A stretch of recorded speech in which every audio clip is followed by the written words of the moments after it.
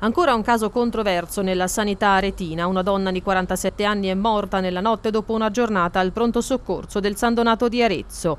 I familiari hanno presentato un esposto alla Procura della Repubblica mentre l'azienda sanitaria ha avviato un'inchiesta interna.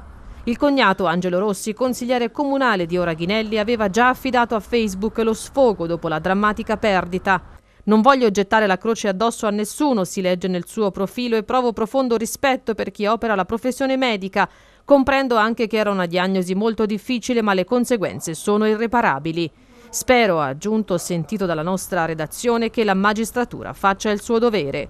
Nella nota stampa dell'ASL Toscana Sud-Est si riporta che la donna si era presentata ieri mattina 2 febbraio al pronto soccorso per dolore addominale ed è deceduta alle 3.10 nella notte tra giovedì e venerdì.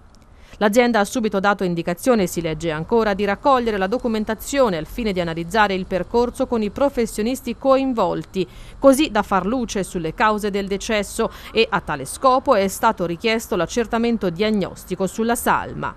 In attesa degli esiti dell'accertamento l'azienda si stringe vicino ai familiari e porge le proprie condoglianze per la perdita della cara.